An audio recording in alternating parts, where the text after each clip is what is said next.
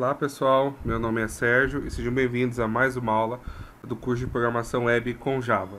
Antes da, da, antes da gente iniciar a videoaula, gostaria de pedir para você que você se inscreva no canal, pois somente assim você vai ficar sabendo as últimas novidades do que eu posto. Além disso, não esquecer de sempre que você assistir uma videoaula, lembrar de clicar no botão gostei, que é o joinha aqui. E se você quiser depois baixar os códigos fontes, é só você ir lá no meu GitHub e baixar eles o código fonte da aula. E se você quiser também ficar sabendo das atualizações, é só pressionar o botão follow aí, aí você vai ficar sabendo sempre que eu postar alguma coisa. É, essa videoaula está sendo patrocinada pelo José Clayton, então eu gostaria de deixar ele o meu agradecimento. O José Cleiton me procurou com a seguinte situação. Ele estava assistindo as aulas de autenticação, gostou delas, aí a gente começou a discutir sobre as videoaulas de controle de acesso, que ele gostaria de patrocinar. E antes de patrocinar as videoaulas de controle de acesso, ele me pediu uma outra coisa antes, que ele quer que eu modifique um pouco o layout da minha aplicação. Explicando o que, que ele quer. Na minha aplicação, sempre que eu tenho uma tela, por exemplo, eu tenho a tela, vamos rodar aqui só para vocês lembrarem. Vou rodar, por exemplo, a tela de estado. Vamos rodar aqui a tela de estado. Então, sempre que... Opa, aí. Ele tá com um errinho aqui que eu tava mexendo. Vou rodar a tela de cidade, então. Deixa eu rodar a tela de cidade aqui. Mais fácil. Então, o que, que ele pediu? Sempre que eu faço a minha tela, eu faço uma tela de listagem e aí a partir da tela de listagem eu abro diálogos. Então eu uso o diálogo para fazer, para incluir, uso o diálogo para fazer exclusão, uso o diálogo para fazer edição e por aí segue. Então eu uso mais o esquema de diálogo que são aquelas janelas flutuantes. Ele me procurou querendo que fosse uma forma diferente. Deixa eu fechar esses dois aqui. Ele gostaria então, põe ó, botão novo, ó, eu abro um diálogo.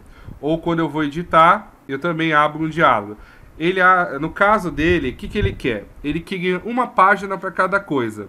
É uma outra forma de organizar a aplicação que também funciona. O que, que é? No meu caso, eu só fiz um XHTML, então todas as minhas tabelas, os diálogos estão tudo dentro do mesmo arquivo. Ele quer separar tudo por arquivo, mas tem um propósito, para facilitar depois o controle de acesso. Então ele quer, por exemplo, tal usuário, ele pode incluir, mas não pode editar. Então se você tiver tudo separado, fica um pouco mais fácil depois para fazer a parte de controle de acesso. No caso, ele quer que eu faça o controle de acesso em cima do produto. Então foi o que ele me pediu. Então a gente vai fazer isso hoje. A gente vai então começar a fazer a divisão da parte de produto.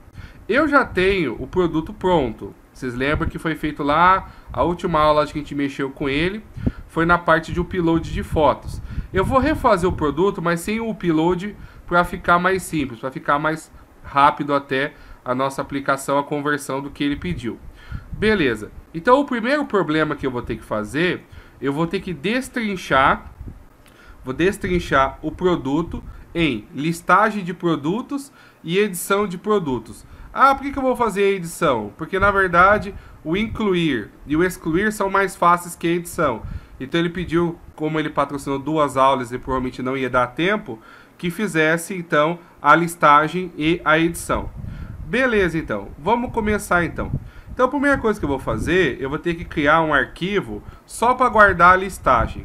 Então eu vou pegar esse arquivo meu, o teste Prime Faces, que é o meu começo, e vou usar ele. Lembrando que tem alguns que está com menu, alguns não, então o objetivo nem é tanto menu, e sim fazer a divisão.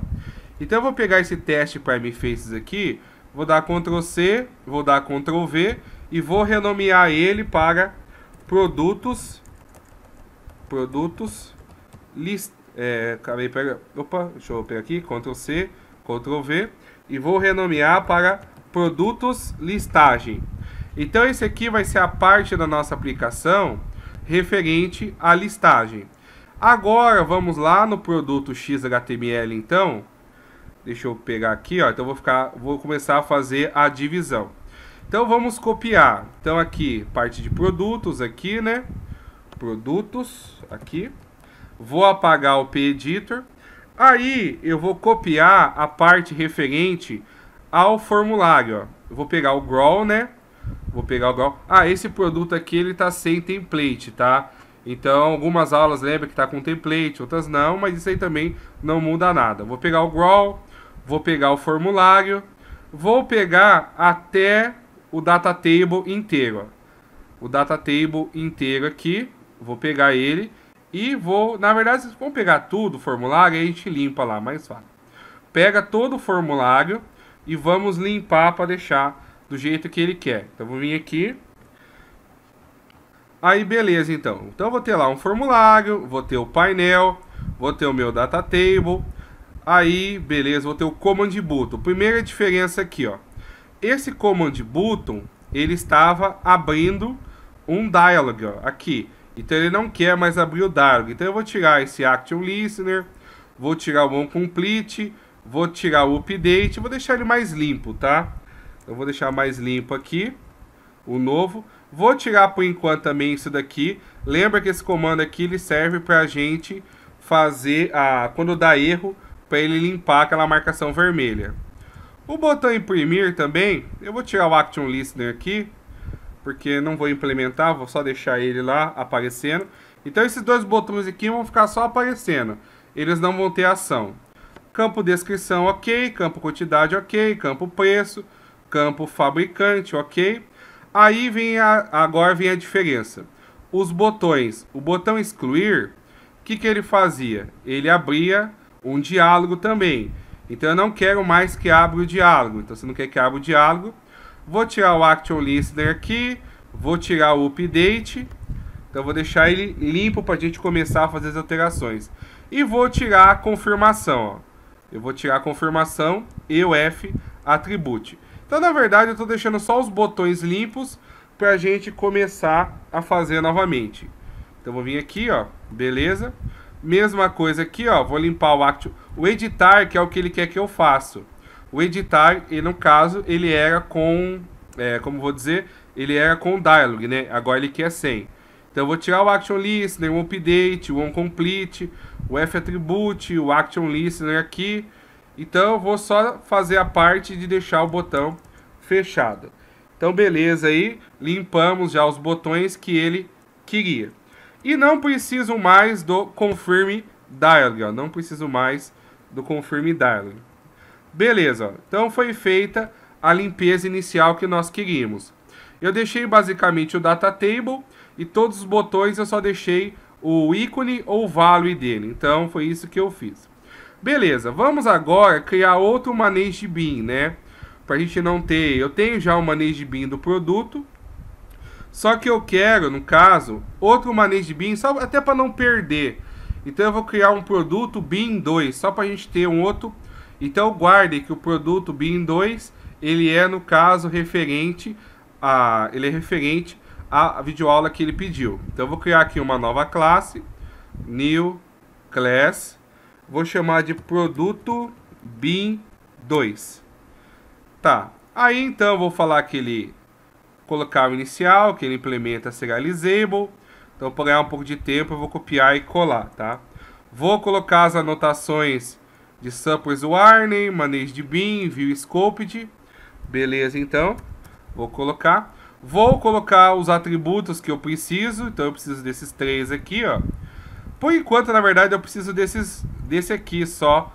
Por enquanto, esse aqui.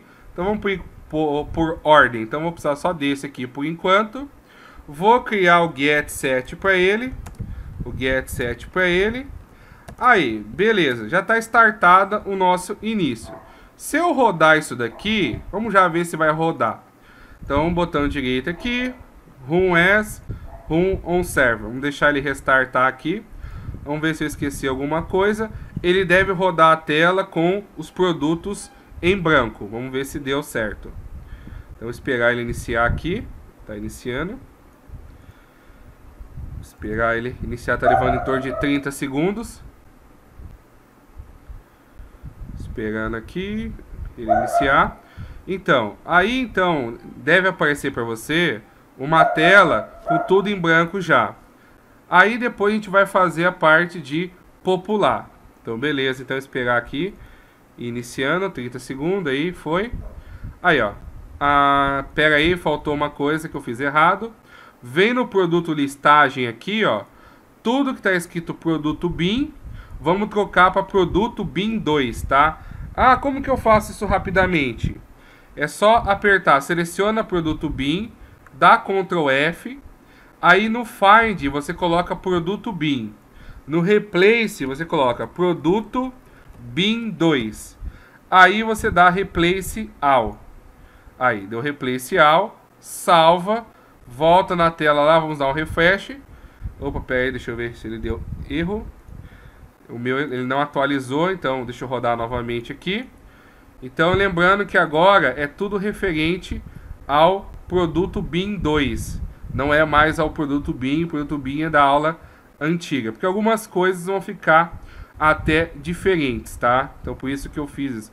Na verdade, o produto BIM 2, por enquanto, ele só vai ser usado aqui no Data Table. Então, é para isso que a gente fez a troca. Então, esperar ele iniciar aqui novamente. Lembrando que ele está levando uns 30 segundos para iniciar. Esperando aqui. Aí, beleza, iniciou. Aí, não trouxe nada agora. Ele não trouxe nada até porque é, eu não fiz o carregamento dos dados. Vamos agora fazer o carregamento dos dados e eu vou aproveitar para explicar uma coisa já. É, o que acontece? Quando eu, fiz o curso para vocês, eu ensinei o Post Construct. O Post Construct ele serve para o seguinte propósito: ele funciona como se fosse o construtor do manejo de BIM. Só que na verdade, como que funciona internamente? Internamente, primeiro roda o construtor da classe depois roda o post construct. Então o construtor padrão roda pelo próprio Tomcat e depois assim o post construct é chamado. A gente usava o post construct para fazer a parte referente a é, fazer a parte referente a popular os dados. Agora eu vou precisar mudar um pouco isso. Por quê? Eu vou ter que fazer comunicação entre telas. A comunicação entre telas não é possível de ser feita no Post Construct. Na verdade, o Post Construct, hoje, o principal propósito do Post Construct é só dar new nas coisas. Por exemplo, onde que a gente faz muito uso do Post Construct? Quando eu fiz as videoaulas, eu tinha, por exemplo, a camada DAO. Toda hora eu ficava recriando ela. Crio DAO, crio DAO, crio DAO. Eu fazia isso em todo o método. O que, que o pessoal faz muito hoje? Cria o DAO como atributo instancia dentro do post construct. Aí as coisas de carregamento, os popular. Aí eu faço um método que rode depois do post construct. Com isso, eu ganho uma vantagem. Eu ganho a vantagem que eu consigo fazer a comunicação entre telas. Então a gente vai fazer um pouco diferente já para vocês verem. Então aqui eu vou. Ah, lembrando que algumas coisas que eu faço, pessoal, no canal, é, são para efeitos didáticos, né? Alguns até falam, ah, mas por que você não fez assim? É que eu preferi usar o Post Construct, que didaticamente ele é mais fácil de usar do que eu vou fazer hoje. Então eu vou criar aqui o nosso DAO do produto. Então eu vou criar o produto DAO. Opa, vou criar o produto DAO. Aí o que, que eu vou fazer? O que eu vou fazer agora, eu não vou criar getSet para ele, porque ele não é um atributo de tela, mas eu vou criar o Post Construct. Então eu vou vir aqui, ó, public void iniciar. Vou chamar de iniciar. O que, que esse iniciar serve então? O post construct, o ideal dele, então você pegar a documentação, ele roda antes da tela ser carregada. Mas na verdade, agora como eu tenho múltiplas telas, na verdade ele vai rodar é, em vários momentos. Então o que, que eu vou fazer no post construct? Eu vou mandar ele criar o DAO. Então ele instancia o DAO para mim. Com isso, eu tenho uma vantagem, que agora eu consigo usar o DAO em todos os métodos sem precisar ficar instanciando toda hora. Então guarde porque isso. O post construct ideal para ele é para você dar new nas coisas. Popular, recuperar dados do banco não é bom fazer mais no post construct. Eu tinha feito por causa de efeitos didáticos. O que, que eu vou fazer agora então? Agora vamos lá no produto BIM lá e vamos copiar o listar. Só que copia ele sem o post construct. Copia aqui e cola ele depois. Ah, beleza, colei ele, mas eu quero que ele rode ainda, que ele carregue os dados. Sim, a gente vai fazer ele carregar os dados. Tá, mas como que eu vou fazer ele rodar então? Aí que vai entrar um comando novo que eu vou estar tá mostrando agora. Então vamos voltar, vou parar o Tomcat aqui. Vamos voltar na tela. Aqui na tela, pode ser em qualquer lugar onde você queira pôr, o pessoal geralmente põe antes do head, tanto faz. O que eu vou fazer agora aqui, eu vou ter que definir o metadado da página. O metadado, da, o metadado das páginas são uma sequência de comandos que eu posso fazer que provém algumas informações e ações. Uma delas que eu posso fazer é para trafegar dados entre páginas, os metadados. Outra coisa, eu consigo chamar métodos depois do post construct. Então, assim que acabar o post construct, chama esse método, que é isso que eu preciso. Isso aí que é o, é o que eu preciso depois para conseguir fazer a comunicação. Então aqui eu vou criar para mim um metadado. O metadado ele está na biblioteca F. Então eu vou vir aqui F metadata. Vou colocar aqui ó, essa tag. Dentro do F metadata eu vou chamar o view actual. O view actual ele é um comando que apareceu a partir do JSF 2.2. Ele veio para substituir um pouco o outro comando, deixa eu lembrar o nome aqui, de cabeça eu não lembro. É, que era, deixa eu lembrar aqui. O comando, não vou lembrar agora de cabeça. Que é você usava para ficar. É, F, eu acho que era o F20. Onde ele trabalhava com aquele famoso pré-render view. O pré-render view antigo, quem usava, se já usou, ele era um método que você chamava dentro do metadata, só que a todo clique que você dava na página ele ficava chamando. Então, o que, isso quer dizer? Que ele chamava o listar toda vez que eu dava um clique. Então, qualquer Ajax que você disparasse na sua página, isso disparava várias ações por trás. Então, é, a partir do 2.2 surgiu o View Action. O View Action ele roda depois do Post Construct uma vez. Então, aqui, o que, que eu vou fazer aqui? Aqui eu vou chamar o meu é, produto bin 2 ponto listar. Vamos rodar agora para vocês verem. Botão direito, Run as, on Server. Com isso, a nossa listagem já vai estar pronta. Então, você vai ver que ele vai carregar. Ah, mas ficou igual como estava antes, Sérgio.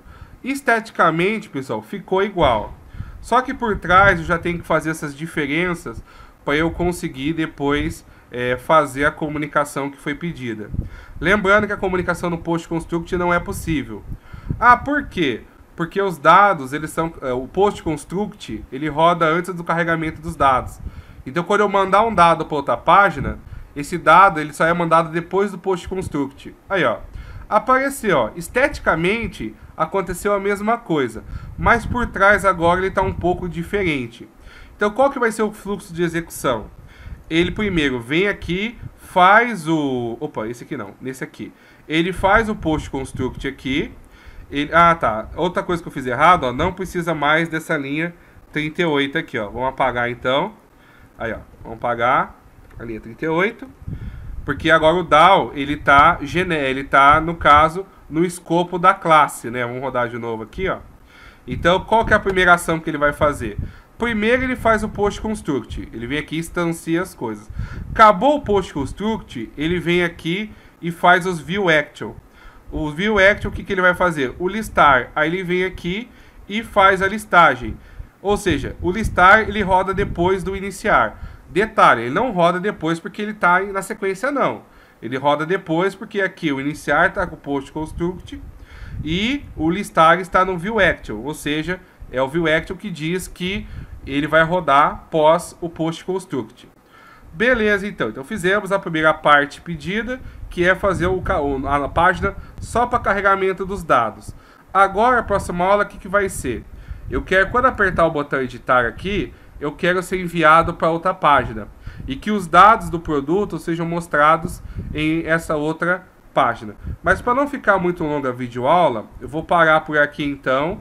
É, novamente pedindo para vocês, não esqueça de se inscrever no canal, de clicar no gostei, de compartilhar também com os colegas.